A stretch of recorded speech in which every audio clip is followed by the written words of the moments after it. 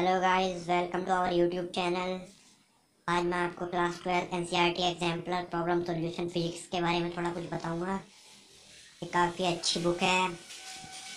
Class twelfth के बच्चे के लिए ये वन फिफ्टी इसमें प्राइस है, पर ये आपको हंड्रेड रुपीज़ की पड़ जाएगी। अगर आप अमेज़ोन या फ्लिपकार्ट से इसको लेते हैं।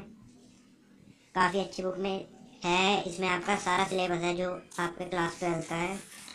पूरा सिलेबस है इसमें आपका।